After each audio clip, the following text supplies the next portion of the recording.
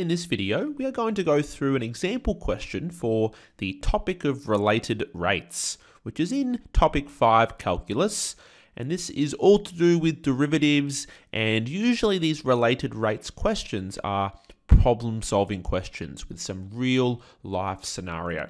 Okay, so let's have a look at this example question, and as we go through the example, you should be able to take away uh, the key concepts for this topic.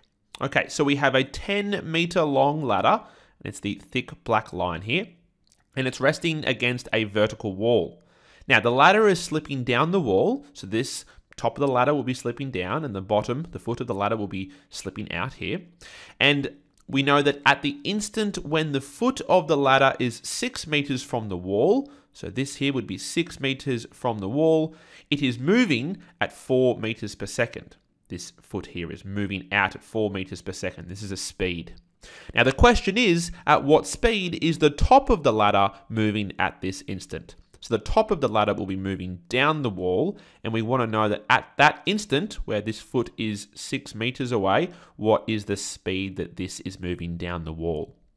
Okay, so the first step to these related rates problem is to draw a nice big clear diagram, which we have right here. This is going to help us. There's, there's also going to be uh, often a little second diagram that you will draw at the instant uh, that they have given us information about. But a nice big diagram is always very helpful. Uh, step two is to write down the information, label our diagram correctly, and let's just try and make sure that we understand the relationship between the two variables here. And at this in this diagram, we have x, this distance, we have y, and hopefully we can realize that we've formed a right angle triangle here. So how do we combine the variables here?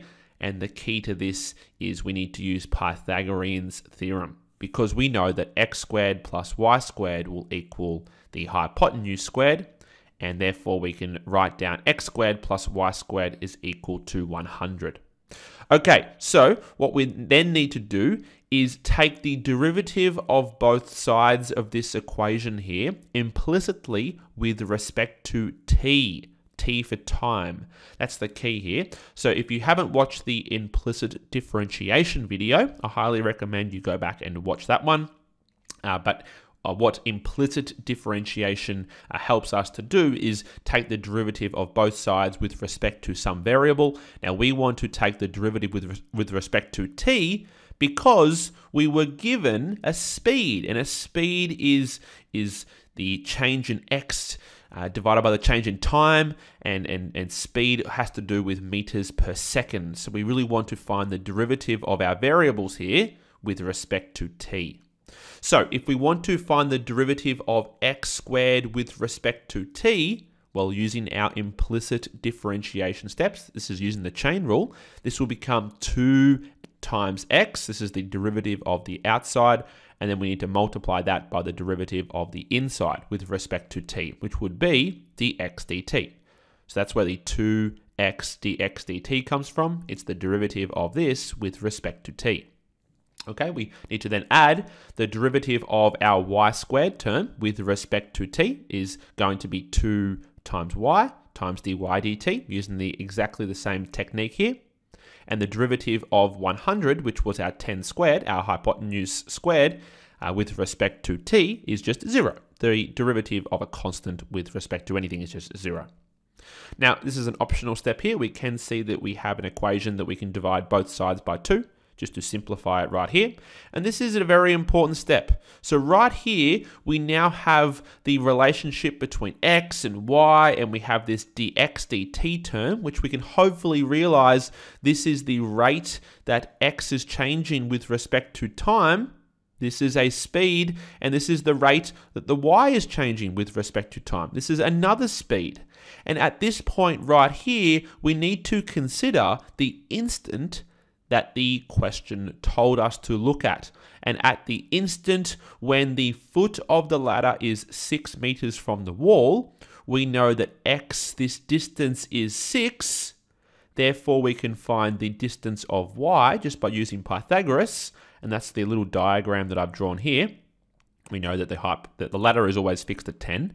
but x is 6 and y is 8 at that instant. And at that instant, we know that the, the foot of the ladder is moving at 4 meters per second.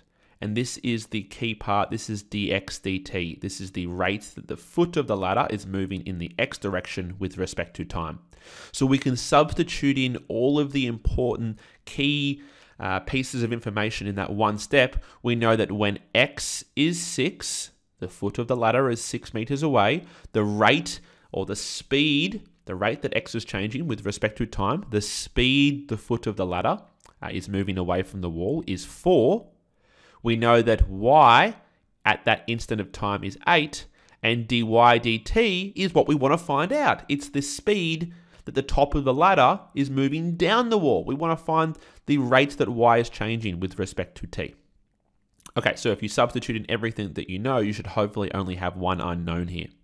Okay, now 6 times 4 is 24. I can take 24 from both sides, and I'll have 8 times the dt equaling negative 24, and then we can solve for dy dt, which is just negative 24 over 8, which is negative 3.